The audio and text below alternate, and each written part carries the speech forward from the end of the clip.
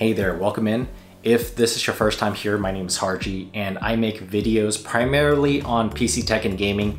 But today is not going to be about PC tech and gaming. Today is going to be a short improvised vlog style type of video. And I just want to give you guys an update and uh, like a semi review on a piece of camera equipment that I just picked up. Um, and the goal of the video is really to reach out to people who may be more experienced in photography and videography than I am, who know more about camera gear than I do. And uh, the goal of the video is to tell you guys that lately I've been trying to find a wide angle lens for this camera, specifically for these types of shots where I'm sitting in front of the camera, face to camera, talking about the content of my videos. And um, a little bit about my equipment. I use a Canon T7i uh, EOS camera and I have two lenses that I primarily use. It's the 24 millimeter STM lens and the 50 millimeter STM lens. Both, uh, the, at 24 millimeter is what you guys are looking at right now. This is me talking from the camera and then the 50 millimeter is what I use for my product shots. Um, and I'm looking for a wider angle lens for these types of shots right here, like this. I'm trying to get a wider view of my room of, of, the, of the background and also get more of myself in the shot. And what I found on Amazon is uh, a, a company called Altura Photo, and they sell uh, basically camera accessories.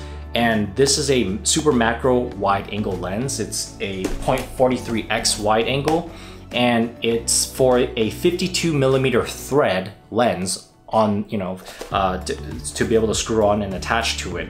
And it has a soft fisheye effect, uh, slight fisheye effect. And um, yeah, so uh, pretty much this thing was like, I think it was like 20 bucks or something, really cheap. And I'm in a moment, I'm going to put this on and show you guys what it looks like. And I'll give you my thoughts on what I'm looking for and what I think about this product. So um, this is made out of metal. It's pretty heavy uh, for what it is. It's got some good weight. It feels like it's built really well. And I'm gonna take the cap off for you guys so you guys can see what it looks like up close. Um, yeah, so big piece of glass right here. All right, as you guys can see. Yeah, really nice quality. However, there are certain things that I don't like about it, um, and I'm gonna talk about in a sec. So I'm gonna attach this onto my 24 millimeter lens and show you guys and I'm gonna do the rest of the video with this super macro lens on, all right? Okay, so this is the Altura wide angle lens attached to my 24 millimeter Canon lens. And this is what it looks like.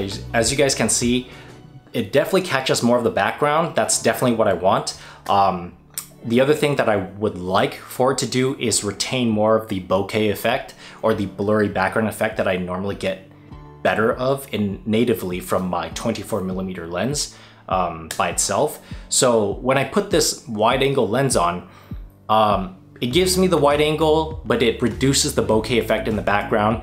And it also has this slight fisheye effect, which I'm not a big fan of.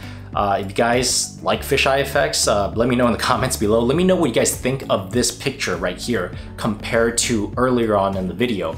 I'd like some feedback on that. So um, like I said, this video is I'm looking for a wider angle lens that gives me a flatter look on camera, no fisheye effect, retains the blurry background. Um, whether it be a lens by itself or a converter like the Altura Photo Macro um, accessory that I have right here. So if you guys know of anything that is for the Canon T7i camera DSLR, drop a comment down below or you guys can give me some tips on how I can uh, basically get more of this aside from you know, sitting back in my chair where I'm trying, like I mentioned earlier, I'm trying to get more of myself in the camera to talk to you guys. Um, but yeah, so any recommendations on camera gear uh, lenses, wide angle lenses for this particular camera, let me know. Um, other than that, I don't really have much to talk about in this video and just, you know, pretty much want to give you guys an update. So uh, yeah, thank you so much for tuning in and um, let me know what you guys think and I'll catch you in the next one. Peace.